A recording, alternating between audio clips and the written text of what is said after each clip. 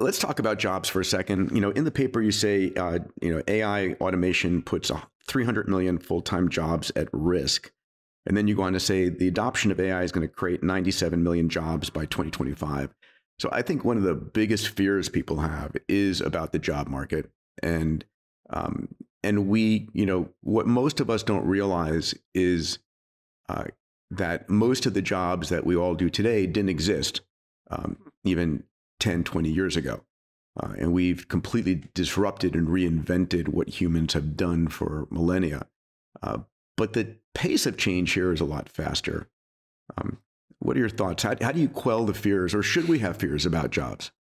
I think it, it's a pace thing. As you said, we've always responded. You know, it's been said that there's only two types of jobs, you know, or things. There are things that you need for living, and there's things you need for entertainment in a way, right? Mm-hmm. The survive and thrive elements yeah. here. We have had such an improvement in our standard of living and even a reduction in the number of hours worked, and we've created brand new industries and service sectors and more.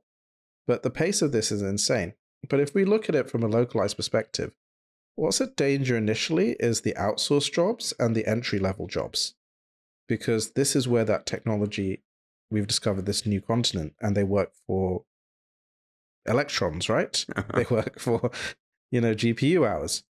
In the intermediate mid level, you can be so much more productive, which means that you can have more supply and more demand of that stuff. And then if you're a leader that can really leverage this technology, bring it together and think about how am I creating value, you become a multiplier.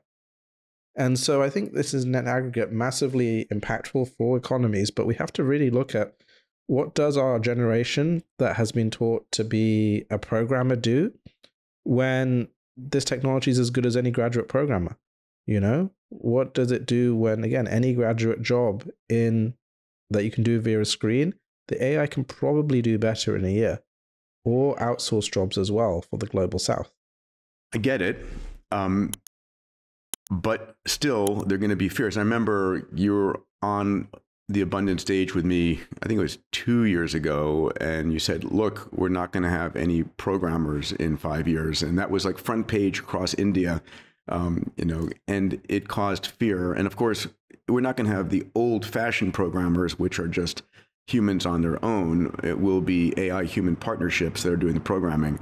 But uh, let's talk about where you think um, should people have some level of concern about the job market? Or do you think, as we have done decade after decade, century after century, uh, we've invented brand new uh, approaches to jobs?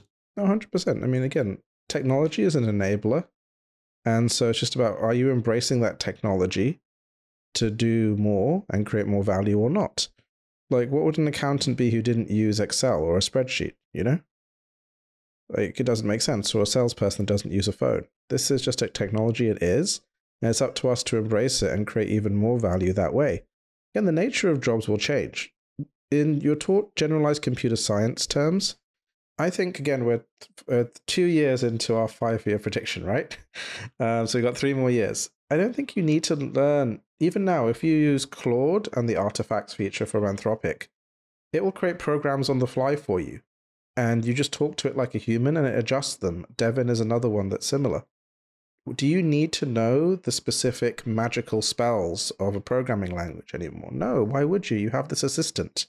But what are you trying to do? You're trying to build software to do a job. That's all that matters. And again, when I first did it 23 years ago, we didn't have GitHub or any of these things where you could reuse code. You almost coded it from scratch every, every single time. time. Every time. Directly on the thing. And this is how we do it. We build houses from scratch, but then we learn how to build houses.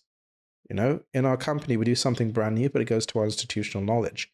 It's just now we can localize this knowledge. So I think that the key thing here is just expect the floor will raise.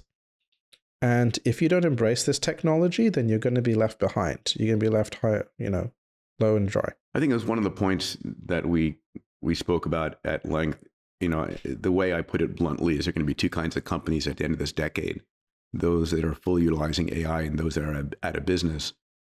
Do you agree it's that black and white? I think it is that black and white. I don't think we've got to the competitive stage yet because it was build the basic building blocks first. Now time to bring them together and then proliferate the technology. But in the next few years, we will see that competitive tension where companies can outperform because their core loops are embracing AI so they can do it better, faster, cheaper. And, you know, the global economy doesn't look too hot today. so it's going to be highly competitive. If you can reduce costs and have higher revenue, hey, you'll outperform.